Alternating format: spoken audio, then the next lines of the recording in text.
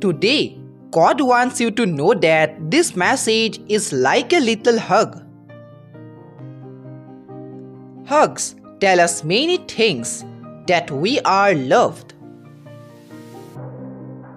that we are important, that we are valued. This message is a little hug from God telling you all those things. Enjoy it, be blessed by it, and try to figure out a way to hug God back.